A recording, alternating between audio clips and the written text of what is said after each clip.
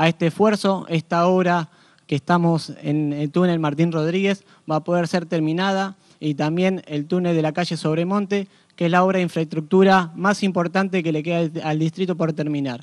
Así que por estas obras que nos unen, Alberto, te quiero agradecer. Es una alegría estar acá presentando obras importantes para tres distritos del conurbano.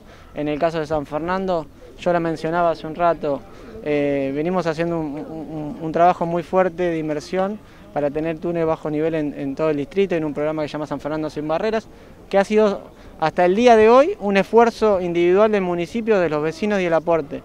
Hoy encontrarnos el trabajo en conjunto de Nación, provincia y municipio, invirtiendo para que este sueño de tener un San Fernando sin barreras sea posible, realmente nos llena de orgullo.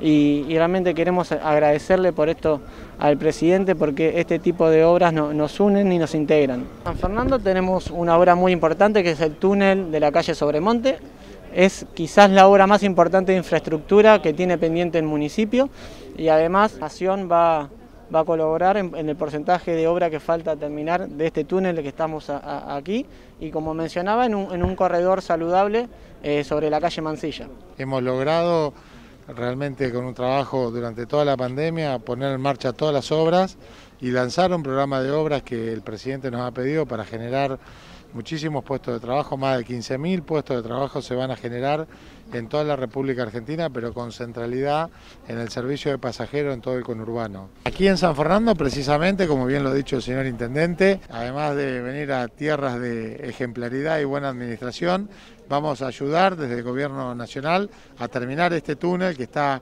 comenzado, vamos a hacer este convenio que se ha firmado para hacer uno nuevo y además la zona de integración de cederla al municipio, esa zona de vías. Tuvo que venir un gobierno nacional, eh, inclusivo ¿sí? y pensando en el bienestar de las mayorías para, en el medio de una pandemia y ante las dificultades, poder reactivar algo que es el medio de locomoción más importante que tenemos en nuestro distrito para los vecinos, se pueden interconectar entre localidades y también para que puedan ir a trabajar, ¿no? que es lo más importante de todo. Vamos a ir mejorando poco a poco, día a día, todos y todas juntos.